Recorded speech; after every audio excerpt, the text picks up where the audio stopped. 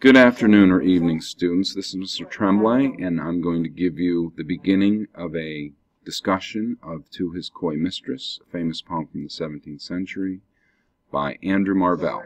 So let's begin. Who is the speaker in this poem? And I assume you're going to be reading along with us, or you've read the poem already. That should be a prerequisite for starting this. So if you have not read the poem, please go back and do so. And start again. Well, the speaker is a man faced with a reluctant or coy. Coy is a good vocabulary word, meaning she is just not maybe ready to commit to him. Um, his coy mistress. He's trying to persuade her to love him.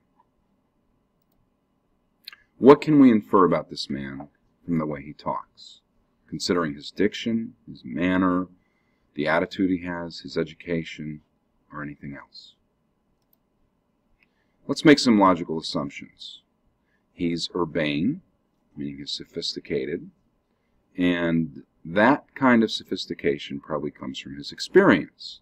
He's no new, newcomer to love, or you could say that he's not an apprentice to the craft of wooing.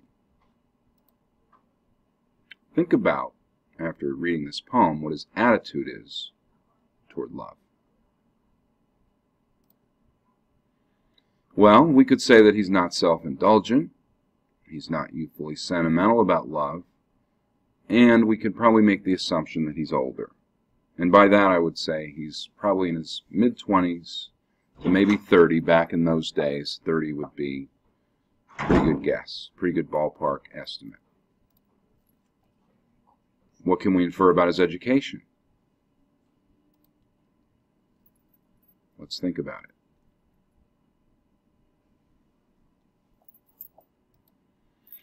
Well, if you read the poem carefully, you will see logic in his argument. You will see that he's witty. He's very smart. You will see that he's eloquent. Let's look at a sample of some of his diction here. Now therefore, while the youthful hue sits on my skin like morning dew, now let us sport while sport us while we may, and now like amorous birds of prey, rather at once our time devour.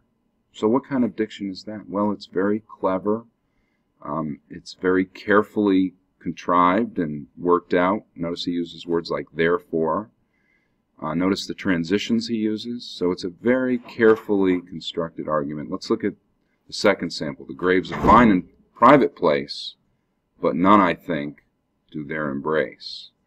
So notice the rhyme, but combined with wit. He seems self-assured and poised. He's probably a courtier, as we talked about in Chaucer, or even in Shakespeare, someone who attends or is part of the royal court, or at least dresses like that, or at least appears like that. Secondarily, who's the mistress in this poem? How do you picture her appearance? Could it look like so something like the picture on the left or on the right? Which one would you choose? Think about it for a second.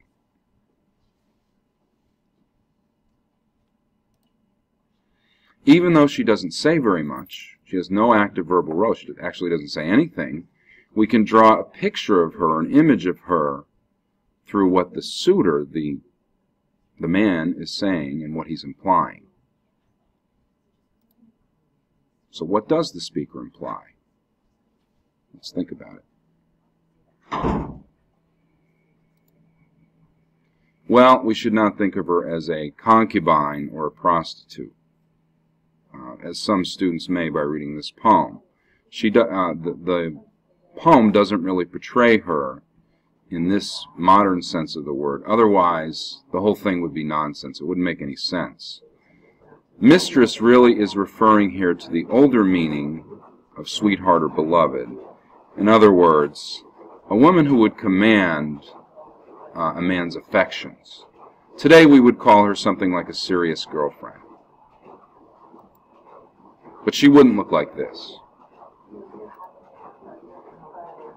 You would definitely think of her in terms of class and in terms of grace and in terms of manners as something much more like this. She would have class, she would have intelligence. And we talked earlier about the courtly love tradition that began with the famous poet Petrarch and that continues on here. Uh, you know, given that tradition, this, this mistress is probably very proud of her beauty. And she probably relishes the idea of her lover praising her.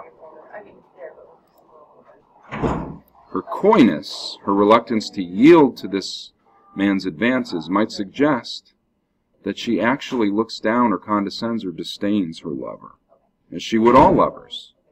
She's the type of woman who demands that their suitors prove their worthiness. How do they do that? And this is a big part of the poem in the, in the first stanza by endless gestures of adoring her and being faithful to her.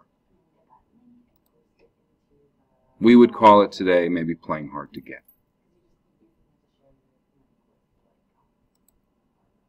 Her social position would be no lower than the speaker's. It has to be higher or upper class. And if you think of those slides below, that would be upper class in the olden days.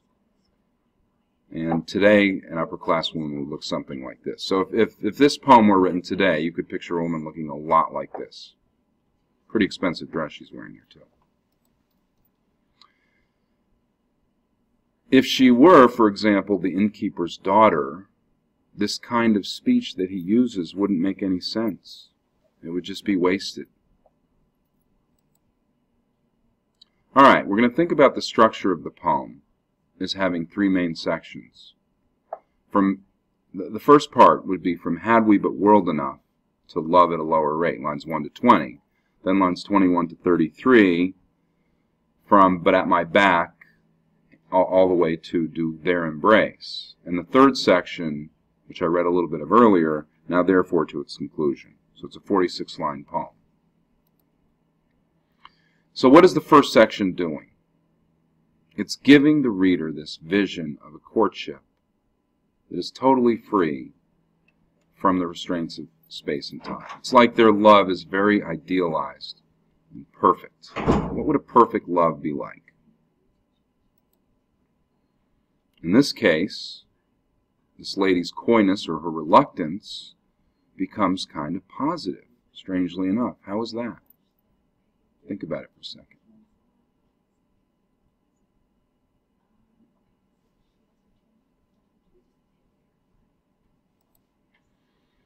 Well, by her being coy, the speaker can continue to praise her.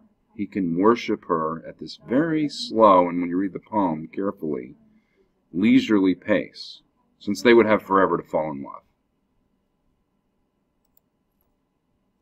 It seems like the lovers have taken control of history. Time is when they're within their grasp or their power because they go backwards into the remote past, all the way back to the Great Flood. It's as if they control history, time, and space.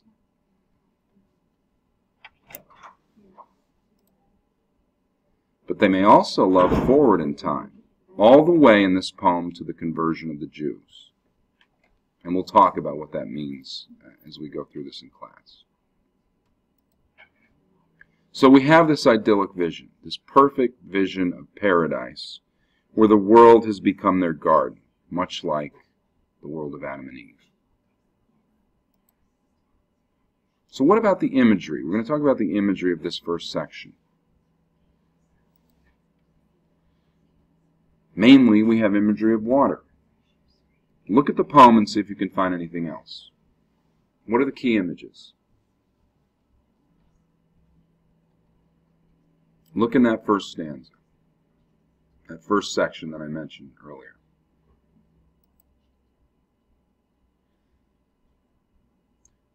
The imagery of leisurely growth is what's dominant. The lady herself is, in, is imagined in the setting appropriate to her beauty and her social rank. We're on the exotic banks of the Ganges River in India.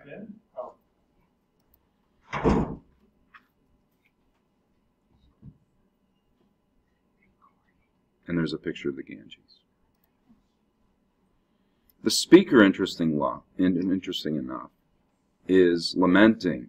He's sorrowful about her coyness as he waits by the shores of the very chilly river in England, which shows very strong contrast here to the Ganges. Note that she gathers or receives two gifts in this first section. What are the gifts? Can you find them?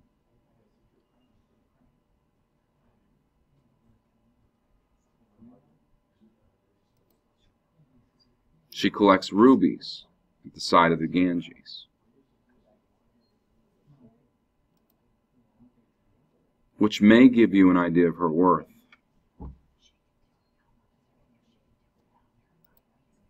She receives from him the richer gift. What's the gift she gets from him in this first section? His flattery. And that flattery is carried on down through a huge span of time, through the centuries even.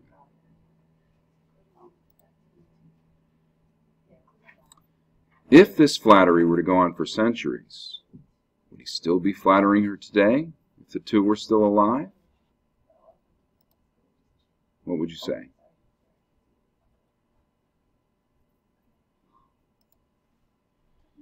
I would say doubtful. And you want to think about that. But at any rate, what impact does this first section of the poem have? Well, within the terms of his vision, this opening section is praising tremendously her charms or her value in his eyes. And don't forget, this is only the first part, or like Act 1 in a play. Which leads us to Section 2. And in Section 2, we have several major shifts occurring. Now, what I'd like you to do is think about what they are, and we will start to discuss those in class.